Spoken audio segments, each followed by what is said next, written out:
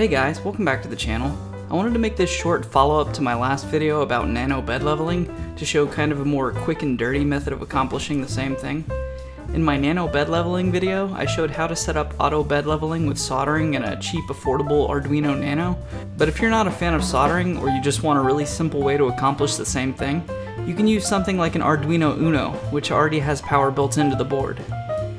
The Uno isn't as cheap as the Nano, but there are most likely already cases out there for it in case you're not a fan of exposed electronics sitting next to your printer. This method requires no soldering, but you'll still want some DuPont connectors to hook the sensor up to your Arduino, and you'll need some male-to-male -male Arduino jumper wires to connect from the Arduino to the Z end stop. You can actually get away with using some of those jumper wires cut in half to just splice into the sensor wires if you don't feel like using DuPont connectors. First, you'll want to download the Nano bed leveling sketches from the link in the description below and upload the sketch Nano bed leveling 2-pin A to your Uno.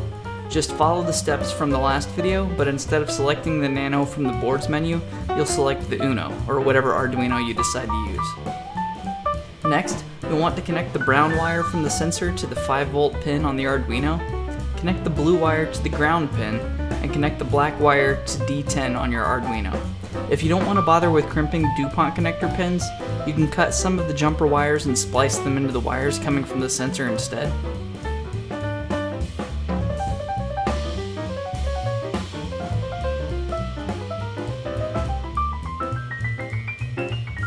Next, take two male-to-male -male jumper wires and plug them into pins D2 and D3 on the Arduino, and plug the other two ends into the outer two pins of the Z end stop.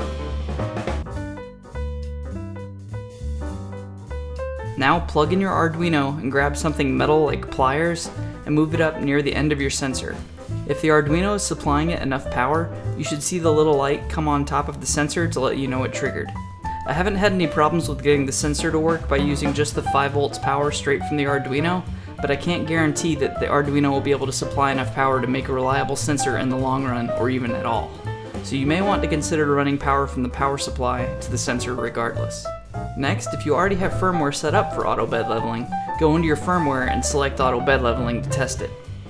If it tries to home and the nozzle raises but doesn't lower towards the bed, then your wires from D2 and D3 to the end stop may be reversed.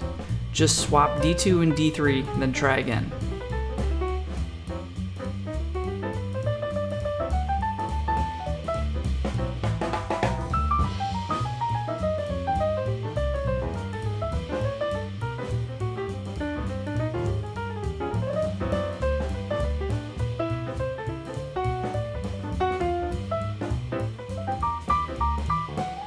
I've had some complaints since uploading my last video that I'm overcomplicating the process by using Arduinos because all it takes is a few resistors, and I get that.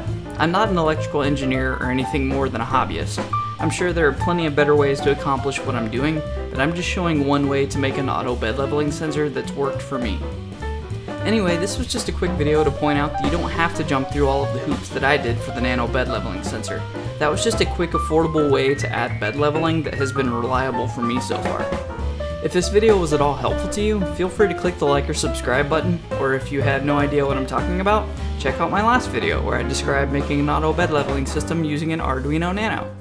There are some GearBest affiliate links in the video description if you want to help support the channel, and as always, thanks for watching and I'll see you guys next time.